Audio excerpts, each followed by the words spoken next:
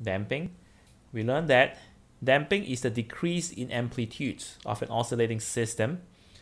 And the oscillate, oscillations undergoes damping is called the damped oscillations. And uh, you can see that the amplitude decreases over time.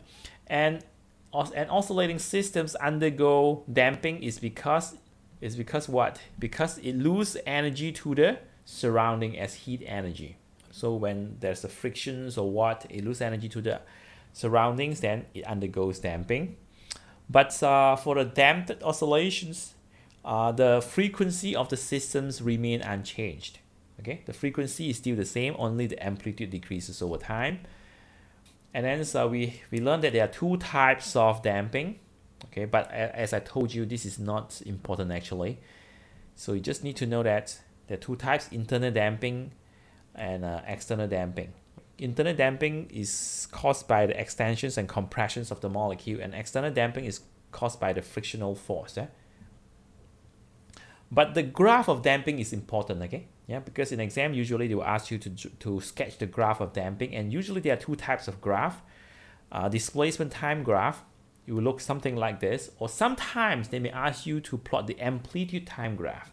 And the amplitude time graph look like this. Okay, just shows the amplitude decreases over time, okay? And there's no negative values. So this is displacement time graph and this is amplitude time graph. And don't get this wrong, okay? Yeah, because a lot of students, uh, when especially when they ask about amplitude time graph, a lot of students they will still give you uh, to, to give this answer the displacement time graph. So make sure that you don't you don't make this mistake. And then we also learn force oscillations. Okay, what is force oscillations?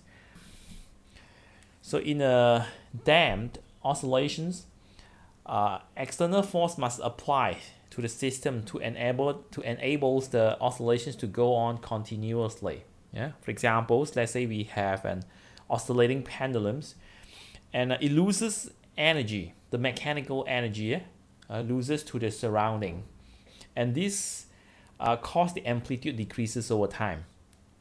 Amplitude decreases over time. But if you don't want it to stop, because you see, finally it will stop. Okay, finally it will stop. But if you don't want it to stop, then you must give a force. External force must be given to the system to help it to oscillate continuously. And if external force is given, then that is called a force oscillations. If there's no external force, then it's just a natural oscillations. But if a force is given, then it's called a force oscillations.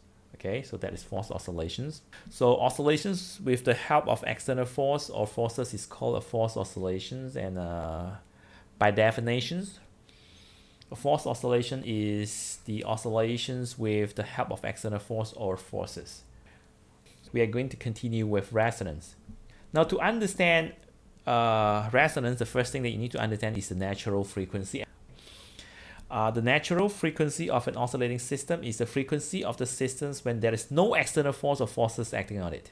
So if you do not give any force, uh, that frequency of the oscillating system is called the natural frequency.